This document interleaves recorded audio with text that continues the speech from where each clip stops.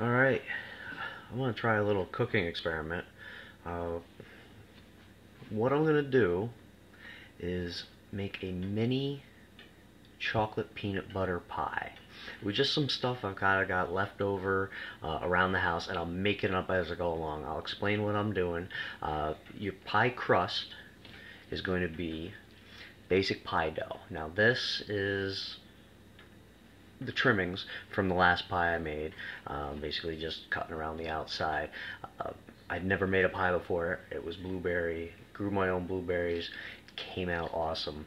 But I use this to, I'm going to use this to make the, uh, the pie crust for this experimental chocolate peanut butter pie. Uh, this will roll out and I'm going to use this kind of about the size of a petri dish made out of aluminum uh, holds up the heat it's clean and that's going to be our pie uh, pie pan. Uh, but to start out, we're going to need a filling. Now, because it's so small, we don't have to make a lot. Uh, I am going to do a peanut butter filling. It's kind of going to be in the middle of a peanut butter ball and peanut butter frosting. And with that, my thought is to use confectioner sugar, peanut butter, and maybe a little milk.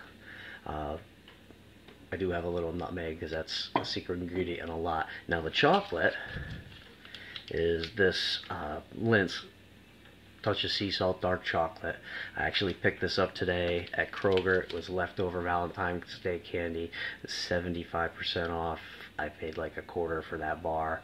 Uh, bought a, bought them out and well I'm going to use that to cook with because it's cheaper and better than chocolate chips. Now, my idea for the ratios is I'm going to go with a quarter cup of peanut butter and a half a cup of uh, confectioner sugar to start with. Uh, should be able to blend it just with this in, in the nice glass bowl. Uh, I'm going to get some of that set up and I'm going to come back with part two in you know, just a few minutes. Alright, check it out.